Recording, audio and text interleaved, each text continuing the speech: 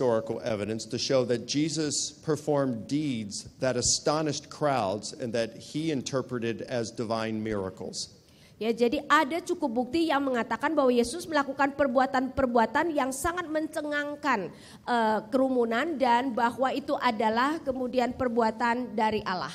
Even non-Christian sources in the in the first and second century acknowledge such. Ya, bahkan eh, sumber yang bukan dari kekristenan di abad pertama dan kedua mengakui hal tersebut. But it's very difficult for the historian to establish particular miracles of Jesus. Ya, tetapi sangat sulit bagi seorang sejarawan untuk meneguhkan eh, mujizat tertentu yang dilakukan oleh Yesus. That doesn't mean that they didn't occur. Bukan berarti bahwa peristiwa-peristiwa itu tidak terjadi. It only means we cannot prove that some of these things. Itu hanya berarti kita tidak dapat membuktikan bahwa hal-hal itu terjadi. Every uh, historic, every all of the ancient historical writings face the same challenge. Dan kita harus melihat bahwa seluruh penulis sejarah kuno menghadapi tantangan yang sama. So there are certain things in the New Testament that we can prove about Jesus, while others, if we believe them, we believe them by faith. Ya, jadi ada hal-hal tertentu di dalam perjanjian lama mengenai Yesus yang dapat kita buktikan, sedangkan yang lain ketika kita percaya itu lebih kepada kita percaya berdasarkan iman. Did that answer your question? Ya, apakah itu menjawab? Yes, sir.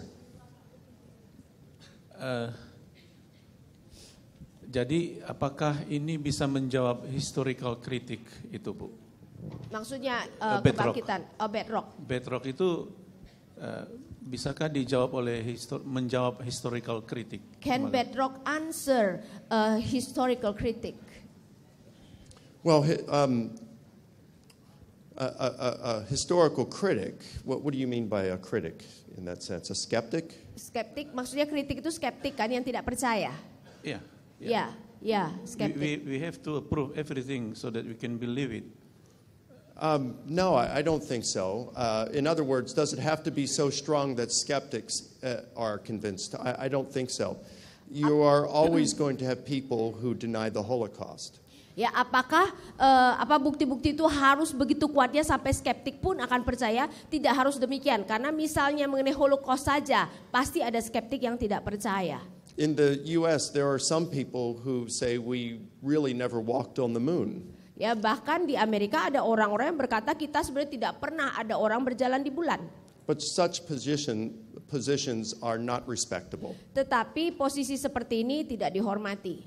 So, uh, when it comes to, um, um, as I mentioned, horizons, horizons, our biases are like uh, sunglasses that we look through, and it shades the way we look at the world. Ya horizon itu seperti kacamata gelap yang kita pakai dan itu akan memberi warna bagaimana kita melihat dunia ini. It is the responsibility of the honest uh, seeker to um, look at the world as though they didn't have those sunglasses on. Karena itu adalah tanggung jawab bagi seorang yang benar-benar tulus di dalam mencari jawaban adalah melihat dunia itu tanpa kacamata gelap tersebut. It is not the responsibility of the historical evidence to shine so brightly that it renders those glasses ineffectual. Ya, itu bukanlah tugas daripada eh, sejarawan untuk mem- memberikan bukti yang begitu berkilau sehingga orang memakai kacamata hitam itu pun bisa kemudian melihat.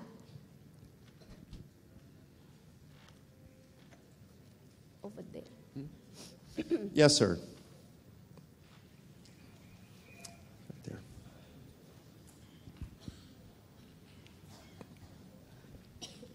Terima kasih.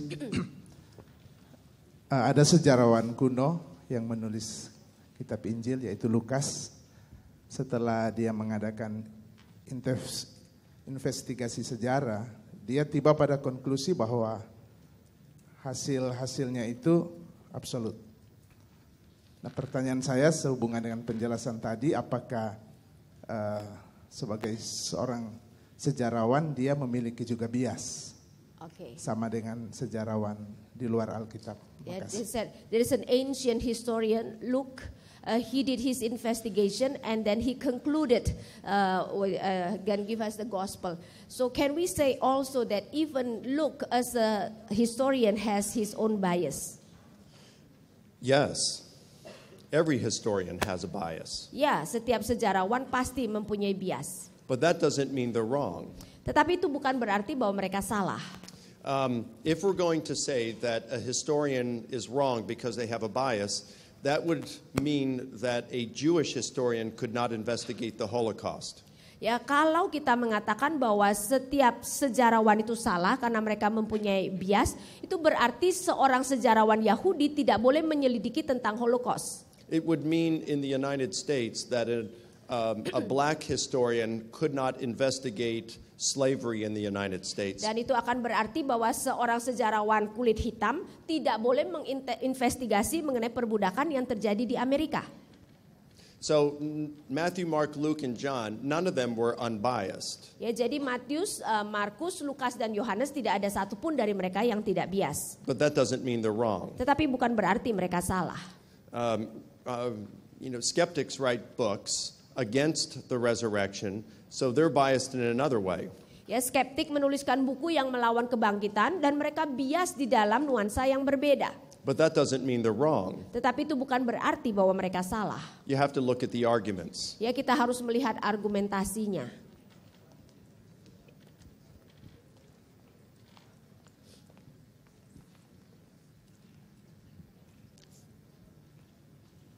Thank you for this moment.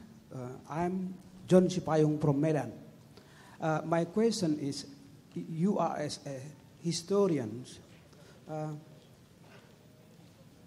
do you find uh, in your research uh, to mention, I mean, uh, do you find uh, something as to mention that there is a proof from outside, from another resources to mention that Jesus rose from the dead? Apakah so ada- if, uh, if there is, how well and how important the data for us as Christianity? Apakah ada bukti di luar Alkitab, di luar kekristenan yang membuktikan bahwa Yesus bangkit? Kalau ada kan itu sangat berguna bagi kita. There are about um, nine non Christian sources that mention Jesus within 150 years of his life. Ada sembilan sumber di luar kekristenan yang menyebut Yesus eh, ada di dalam jangka waktu 150 tahun sejak Yesus ada. Unfortunately, they only provide us a very brief outline of the life of Jesus. Tetapi sayangnya mereka hanya memberikan kita outline yang sangat singkat mengenai kehidupan Yesus. Several of them mention Jesus' death by the Romans, his execution. Ya, beberapa menyatakan kematian Yesus yang dieksekusi oleh Romawi. It's possible that an ancient uh, Jewish historian from the first century named Josephus mentions Jesus' resurrection. Ada kemungkinan bahwa seorang sejarawan Yahudi eh, pada eh, abad pertama yaitu Yosefus menyebutkan tentang kebangkitan Yesus. But it's doubtful. Tetapi itu diragukan.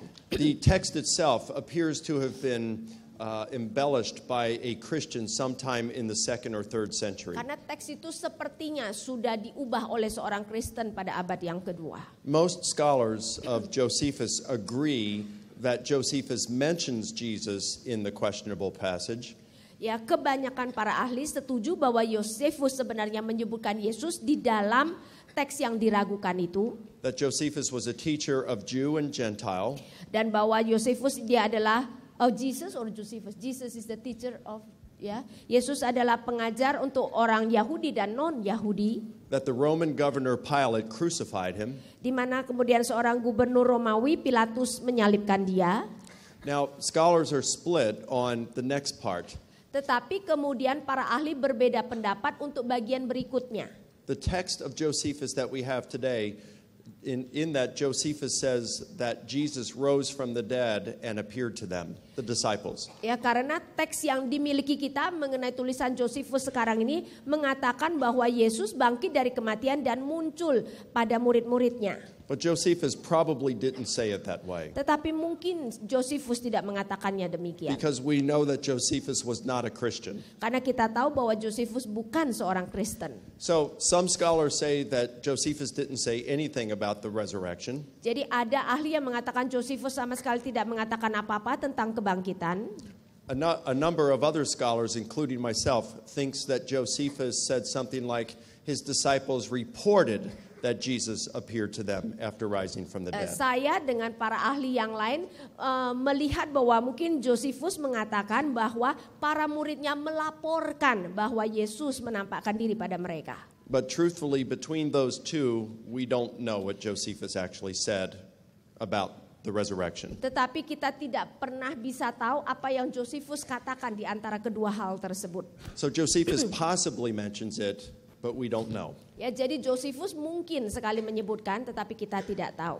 Now, there's a Roman historian named Tacitus in the early part of the first, the, the second century, and Tacitus is considered to be perhaps the greatest of all the Roman historians. Dan ada seorang sejarawan Romawi, Tacitus, yang hidup di eh, pertengahan abad kedua dan dia dianggap sebagai salah satu sejarawan yang terbesar.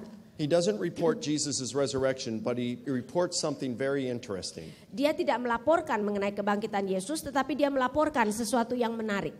He says that Pilate crucified Jesus, and at that point, Christianity was checked for the moment, What do you mean? uh, stopped. Dia mengatakan bahwa Pilatus menyalibkan Yesus dan untuk sementara kekristenan stop. And then it, it, it started and spread all throughout Judea, where Christianity started, and then spread throughout the entire world, including the city of Rome. Tetapi kemudian dimulai tersebar di Yudea, di mana kekristenan mulai dan akhirnya menyebar ke seluruh dunia sampai kepada Roma.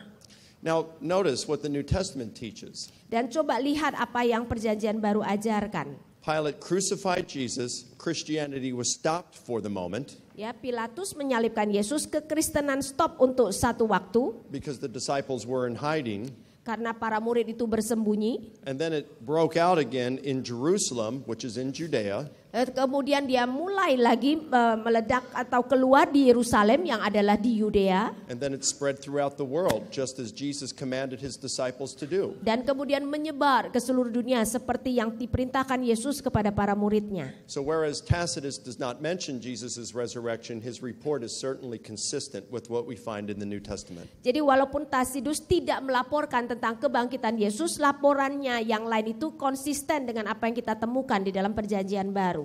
That said, even skeptical scholars Yeah. are, are truthfully more impressed by some of the reports we have in the New Testament than they are with people like Tacitus and Josephus. Dan itu kemudian membuat bahkan eh, scholar-scholar yang skeptis mereka lebih terkesan lagi dengan apa yang dilaporkan di dalam perjanjian baru daripada yang dilaporkan oleh orang seperti Tasidus. And the reason being is because there are a number of reports in the New Testament that we can trace to the apostles themselves. Dan kenapa demikian? Karena ternyata ada laporan-laporan di dalam perjanjian baru yang kita bisa telusuri bahkan sampai kepada para rasul sendiri. So, although a skeptical scholar uh, does not believe that Jesus rose from the dead, Sehingga para ahli-ahli yang skeptis walaupun mereka tidak percaya Yesus bangkit dari kematian, they are still impressed with some of the data in the New Testament that uh, reveals to them that Jesus' disciples believed that he had been raised from the dead. tetapi mereka sangat terkesan dengan laporan-laporan tertentu yang ada di dalam perjanjian baru yang menunjukkan bahwa para murid percaya bahwa Yesus bangkit dari kematian. And we'll be talking about some of that evidence a little later. Dan kita akan melihat beberapa bukti tersebut nantinya. And I guess we'll take a break now, or, or would someone like to come up and uh, Ya, kita break dulu. Um, when are we meeting back? What, what time do we come back? What's now? Okay.